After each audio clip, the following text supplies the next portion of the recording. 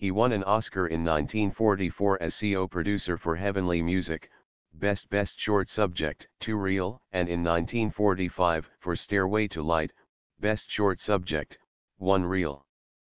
In the late 1930s, he joined MGM as a unit manager and worked on the Dr. Kildare series and other films.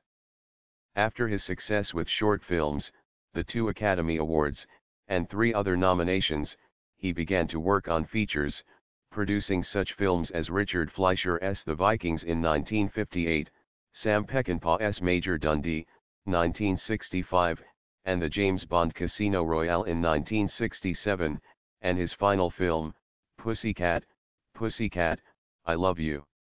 It was the post-production interference at Columbia Pictures on Major Dundee which for a time gave Bresler a reputation as a studio hatchet man.